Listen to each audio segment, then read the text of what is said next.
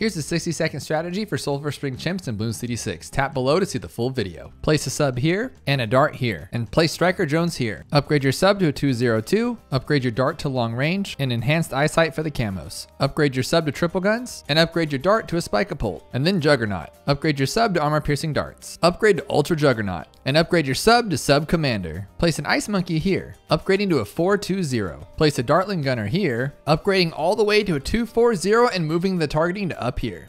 On 90, use Striker's first ability when you see the 3 DDTs. On 91, when all the BFBs are on the screen, use Striker's first ability and then Rocket Storm. On 92, hit Striker's ability three times, then use Rocket Storm, then use Striker's ability for a fourth time. And then quickly upgrade to the MAD right after. Place a Glue Gunner here, upgrading to a 032. Place a Glue here, changing targeting to Strong, upgrading to a 023. Upgrade to Glue Strike. Place a ninja here, upgrading to 040. On 98, use the Mad ability and the ninja ability. And there you go.